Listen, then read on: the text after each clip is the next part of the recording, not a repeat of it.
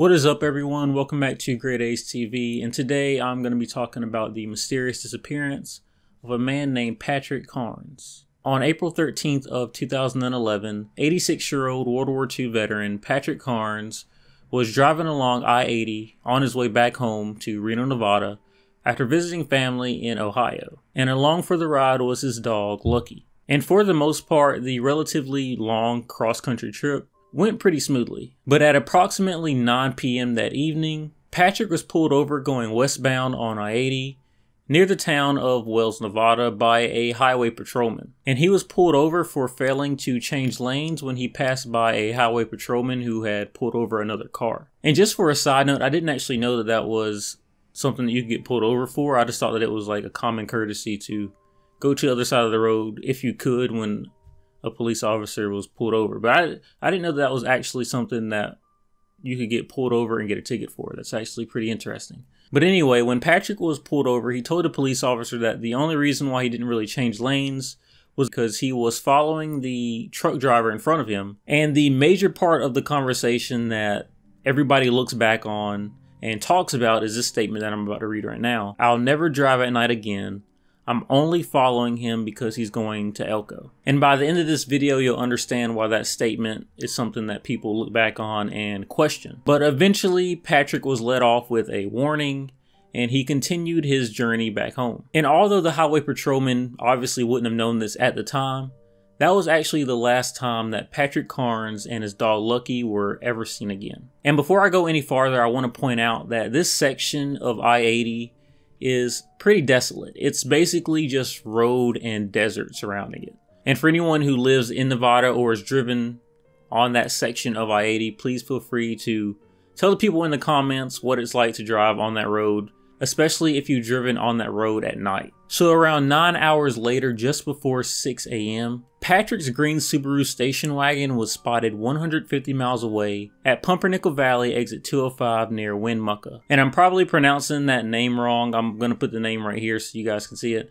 I have no idea how to pronounce that name. I probably should have looked into how to pronounce that, but and when the car remained there for 48 hours, the police started an investigation and soon learned that the person who was driving that car never returned home from their cross country trip. What made things even weirder was the fact that the car had plenty of gas, it seemed to be in good condition, and there were no signs of foul play. Yet Patrick and his dog Lucky were nowhere to be found. But beside the fact that Patrick and his dog couldn't be found, there is also something else very strange about the vehicle. Basically, it was facing the wrong way. The car was sitting on the south side of the highway, which was strange because since Patrick was traveling west, it would have made more sense for his car to be on the north side of the highway. So if you were just going by how the car looked, it would mean that at some point Patrick, for some reason, turned around and was heading back the opposite direction, which didn't make any sense to his family or the investigators, especially since there was a map found in the vehicle that had specific stops circled out, and none of those stops that were circled out was the stop that the car was found at.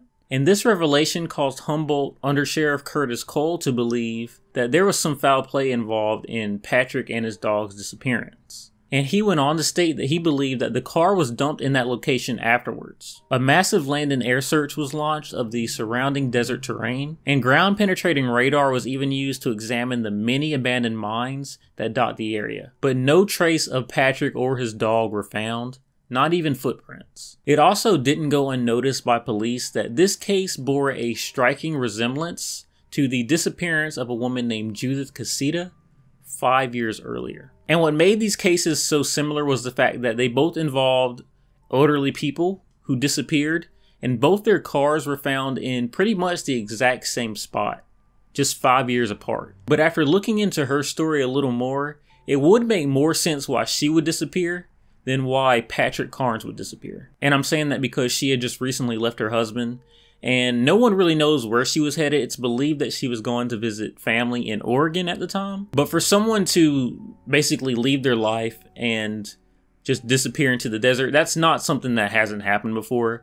And I'm not saying that that's what happened to her. I'm just saying that it makes more sense why she would disappear than why Patrick would disappear. And that's basically all that links these two cases together. The fact that both their cars were found in about the same location and that they both disappeared, never to be seen again. I, I don't know if I believe, believe in coincidences, especially in this business. And, and to have this much real estate and to have two at the exact same location, matching circumstances, very strange. So there isn't a lot of leads or evidence to go on in Patrick's disappearance, but the one strong lead that the investigators had was what Patrick said to the officer when he was pulled over, which was that he was following a big rig because they were headed in the same direction. They were both headed to Elko. So, of course, after investigators realized this, they went back to the dash cam footage to try to see if they could figure out who was driving that big rig. Because, of course, the driver of that big rig would be a person of interest. Since if you're just going off what Patrick told the police officer, you would think that Patrick and the truck driver had some sort of conversation for him to know where that truck driver was headed. So dashcam footage of the truck was analyzed basically frame by frame, and the only clue they could find was a logo that was on the truck but unfortunately, it was too blurry to actually figure out what that logo was. And unfortunately, the big rig was the only clue that the police could go on, so other than that, there was nothing. And despite the hundreds of tips that came in over the years, None of them have led police to anything substantial, and there has never been any contact from the trucker who Patrick was following, which leads people to ask two questions. Does the truck driver have something to hide? Or did the truck driver not know that Patrick was following him? So if he didn't know Patrick was following him, why would he call in and say, "Hey, I'm the guy Patrick was following"? I don't. He doesn't know who Patrick is. So there's two different routes you could go on. Either the truck driver knew that Patrick was following him, which you would think, since he told the police officer that he was following this truck driver specifically because that truck driver was headed to Elko. And the law enforcement and Patrick's family have been so desperate to find answers that they even turned to psychics just to get anything and they weren't able to get any new information from these psychics. And this is always something that I found interesting. There's been a couple cases that I went over where eventually the police or the family turned to a psychic to try and get more answers for what happened. And and I know that some people do believe in psychics, and it's just very interesting to me that people do turn to psychics, even the investigators turn to psychics when they really just don't have any answers for what's going on and they, they're just looking for anything. So that's very interesting that the investigators went as far as to contact psychics to get more information on what happened to Patrick. And unfortunately, Patrick and his dog Lucky were never seen again. And he was 86 years old at the time, and this happened in 2011. What was that, nine years? That would be nine years ago. 86 years old. He would be pretty up in age. The fact that there are only two options either he was abducted or he walked into the desert into his death there's not really a good chance that he's alive at this point um, which is unfortunate. But with all that being said, let's get into some of the theories on what might have happened to Patrick. So, the first theory, and this is the theory that the undersheriff who investigated this case believes, Patrick fell into the clutches of a serial killer and was subsequently killed. The undersheriff believes that Patrick probably met this truck driver at a prior stop, and at some point after he was pulled over, Patrick was convinced by the truck driver to rest in his sort of sleeping compartment in the trucks. Because if you didn't know, the trucks actually have sleeping compartments. I didn't actually know that. I really just thought truck drivers just slept in their seats. But but the undersheriff's theory is that Patrick was eventually convinced by the truck driver to rest in his little bed compartment, and at some point the truck driver murdered Patrick. And this theory was actually given credibility when it was found out through the family that Patrick actually used to be a truck driver. And since he had been a truck driver at one point in his life, he held a lot of respect and trust for other truck drivers. So it doesn't really seem that much out of the ordinary for Patrick to befriend a truck driver at a rest stop. And then later on, once he did get tired, trust that truck driver enough to get into his cab and rest which unfortunately would make him an easy target for a truck driver with malicious intentions. Now, the second theory is that sometime that night, Patrick got turned around somehow and pulled over to the side of the road. And then there are several other theories on what would cause him to leave his car and go into the desert. One of those is that after he pulled over to the side of the road to check his map to try to figure out where he was, Lucky somehow got out of the car and maybe chased something into the night, and Patrick ran behind him. And once he finally was able to catch up with him, he kind of didn't know where he was. I mean, He's in the middle of the desert. It's very dark. It makes sense that if his car lights were off and everything, and he ran into the desert, he wouldn't be able to actually find out where his car was parked. My only problem with this theory is that I just don't believe that Patrick would have gotten turned around in the night. This is a trip that he had made before. He had made plenty of other trips with his dog. He was also a truck driver at one point in his life. It just it doesn't make sense to me that he would have just gotten that turned around in the night to where he would pull over in this location and then for some reason or another just walk into the desert at night. It, it, it, it just doesn't I can't comprehend why he would do something like that. Yes, people do make mistakes, so this very well could have happened. It could have easily happened.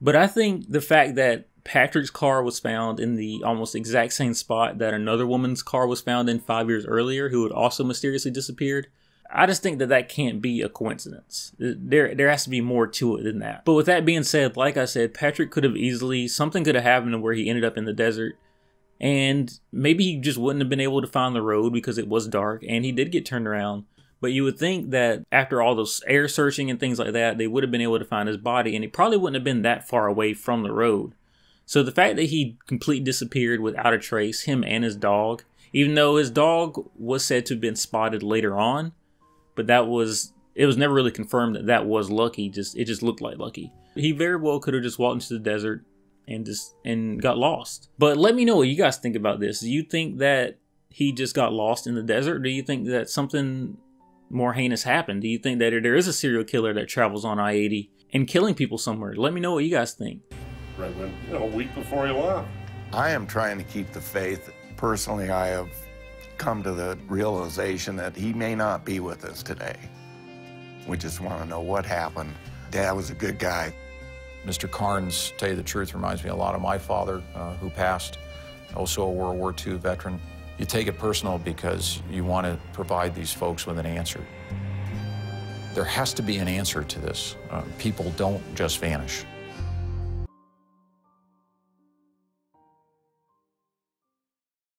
So don't forget to like, comment, and subscribe. Leave suggestions for other videos I should do. I do see those and I try to screenshot them and like them. So if, if there's a heart, if I heart your comment or like your comment, then I saw it. But like always, hope you guys continue to have a great day, great week, great month, great year. And I will catch you next video.